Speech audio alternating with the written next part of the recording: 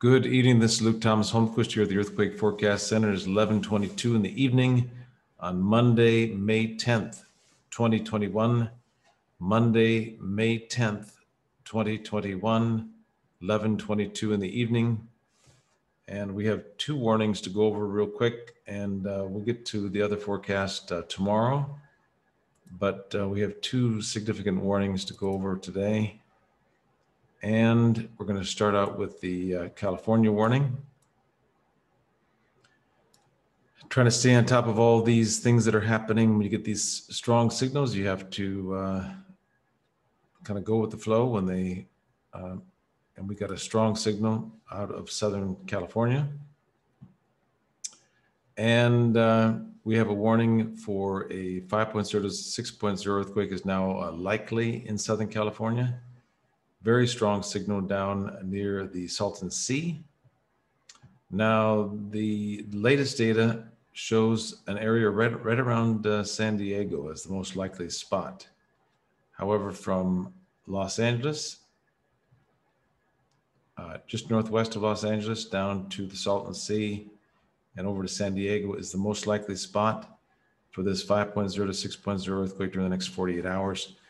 Uh, but even more likely just east of San Diego or just southeast of Los Angeles. But anywhere from northwest Los Angeles to San Diego to the Salton Sea, expecting a 5.0 to 6.0 earthquake, uh, which is now likely during the next 48 hours. I think we're going to get a couple significant quakes. Uh, the first one, which should be uh, sometime around uh, nine o'clock in the morning, California time and then another significant one uh, late on the 11th and early on the 12th.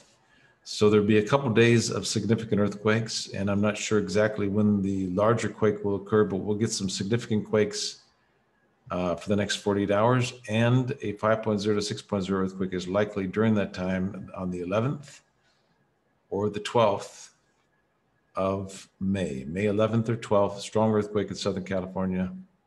5.0 to 6.0 earthquake is likely during the next 48 hours. Please warn your friends and family.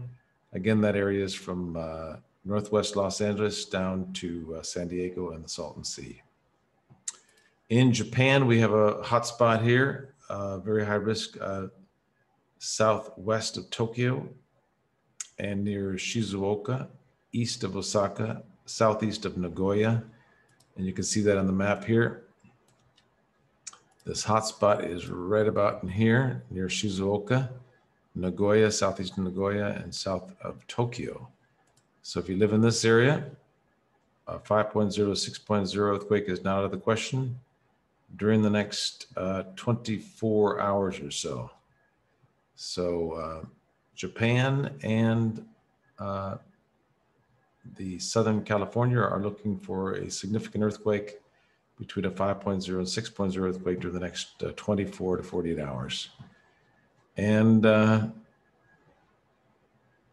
let's see if we got anything uh, in the next. Uh, so things should uh, start uh, letting loose here, most likely around in the morning time, in the morning on May 11th.